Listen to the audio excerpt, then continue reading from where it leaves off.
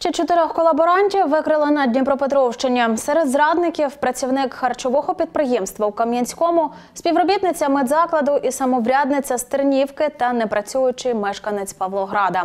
Вони виправдовували російське вторгнення, підтримували окупацію частини української території, закликали до співпраці з РФ і прославляли їхню армію.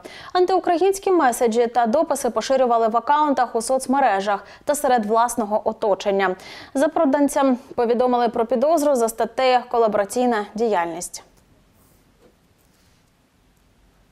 Ще одним колаборантом виявився непрацюючий мешканець Павлограду. Чоловік через особисту сторінку в одній з соціальних мереж розповсюджував антиукраїнські матеріали з дискредитації вищого керівництва країни та української армії. Пости з підтримкою так званої спеціальної воєнної операції та окупації ворогом українських територій стали основним контентом його акаунта в інтернеті. Співробітники СБУ викрили колаборантів. У ході проведення слідчих дій правоохоронці вилучили комп'ютерну техніку та мобільні телефони, які вони використовували у протиправній діяльності.